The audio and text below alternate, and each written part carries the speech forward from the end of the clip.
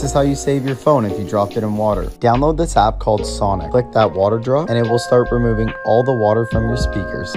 A quick lesson about failure. Most great people achieve their greatest success just one step beyond their greatest failure. Walt Disney got fired from a newspaper for having no original ideas or imagination.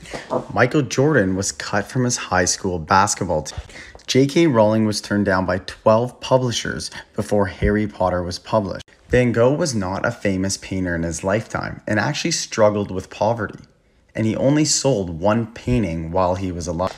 Henry Ford went broke five times and was advised to stay out of the auto industry because he didn't have the money or the know how.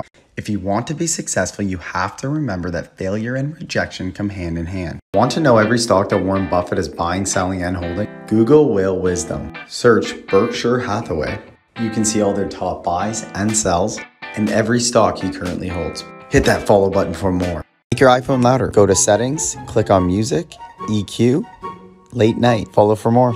Here's a crazy life hack. If you forget your autofill password, right click and select inspect element, find where it says password and type in words instead. Now just click enter and follow for more. You remember the iPod Nano? If you do or don't, this is one of my favorite marketing campaigns ever. In 2010, Apple decided to cover cities with this billboard ad. This is where Rona, the home improvement company, came up with a brilliant campaign. They decided to hang a billboard directly under apples with paint dripping into buckets to promote their paint recycling program. This is called ambush marketing. Follow for more. Photoshop Nobody's for gonna free. know.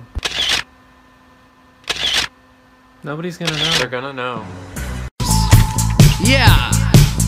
Wanna get a mansion, a jacuzzi, a theater to watch my movies, couple whips and lots of fancy things. The kids they call the Goonies. I see the future, crystal ball, mirror, mirror hanging on the wall. Who the fly white boy of the mall? Got your girlfriend screen. This is how you make your voice go from this to this. What you're going to do is go click on voice effects and then select megaphone. Now follow your boy. iPhone hacks you didn't know. If you want to shoot a video but still have your music play in the background, here's what you do. First off, go to your music and start playing a song. Next, open up your camera, hold on to the photo shutter button and slide over. You will now record and record the song as well. Follow for more. These four books will change your life. You ain't finna play her. Shawty gon' get that paper. Shawty tongue rip like razor. Did you know the Apple logo is a button? Go to your settings, click accessibility, click touch, scroll right to the bottom and click back tap. Pick double or triple tap. I chose to make it my home button and boom. It's the day that my $1,500 package has arrived. This was probably one of the biggest schoolyard flexes back in the day. The Trio. For $1,500 I was able to get a PSA 7 Blastoise, PSA 7 Venusaur, and a near mint Charizard. How'd I do? Fellas, look what I found in my pocket. Look, a year's salary right here. What I call them? Fun coupons. How to make cool mockups like these with ease. Go to mockmagic.com. Pick your device. Now upload a photo. Boom, you got beautiful mockups. Don't sleep on me. Follow for more.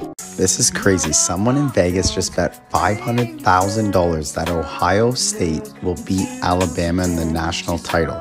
That would pay out $1.3 million.